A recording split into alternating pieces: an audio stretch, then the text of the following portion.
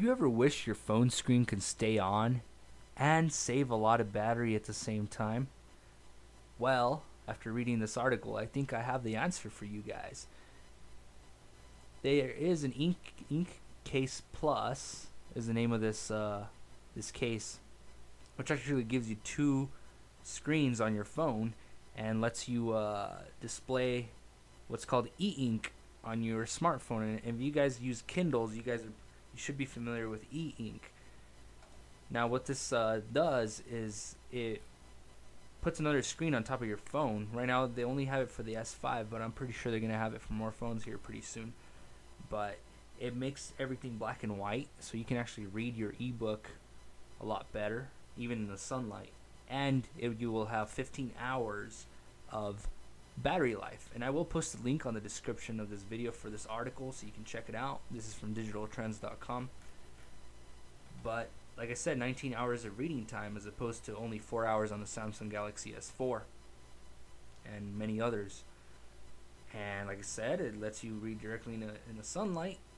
And it, like it's not going to be a beautiful screen with color, but I mean if uh, it, it'll do the job.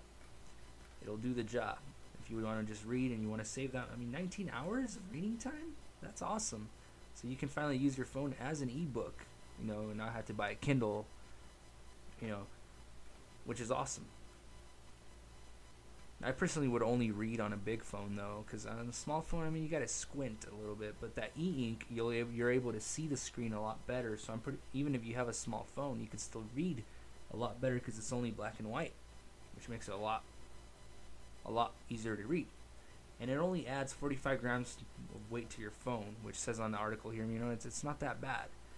And um, but the InkCase uh, doesn't have a touchscreen, but it says right here has a few physical buttons on the front for navigation.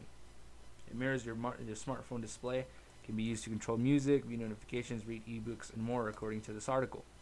And you can go ahead and watch the video here, which just shows you real quick how, how to do it in the CEO talks and everything. Uh, like I said, check out the link on the description of the video for this um, article. And right now, uh, the case only costs 80 bucks it looks like they're still underfunding. You might still be uh, you'll be able to actually um, buy this soon.